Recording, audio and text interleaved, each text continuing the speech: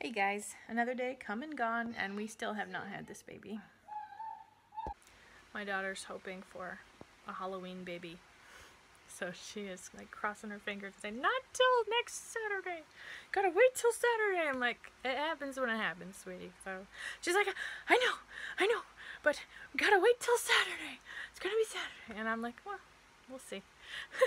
now it's true that this year that Saturday is gonna be the full moons and uh, according to the midwives and professionals, when that barometric pressure changes, it just causes changes in the body that helps facilitate labor. So maybe it will be Saturday.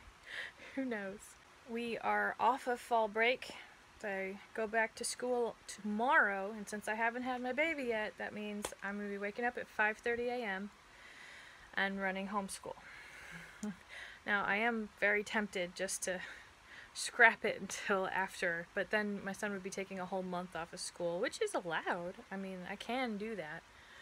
But I would rather have a break after the baby's born than a break before the baby's born. So I'm planning on chugging through this whole next week and homeschooling through through this next week and it'll be fine. I'll wake up and make some breakfast. I'll have some oatmeal in the morning and then we'll just get our get our day get our day going again.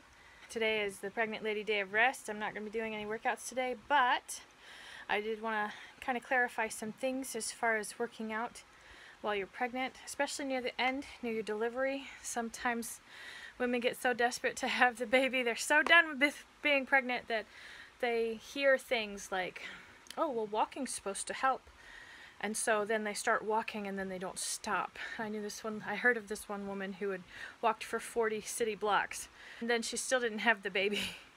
So, with moderation, of course, all things. So most of these exercises aren't designed to make you exhausted. We don't want any maternal exhaustion going on because you are preparing for a marathon level event. And so we just want to make sure that you feel good about yourself and what you're heading for. And however you manage to do that, although walking is good, um, find your time throughout the day to do your own walk out outside, take your kids with you, have a good time. And um, just so that you can come back and relax and be rested and ready. Um, and that's all I really have for you guys today.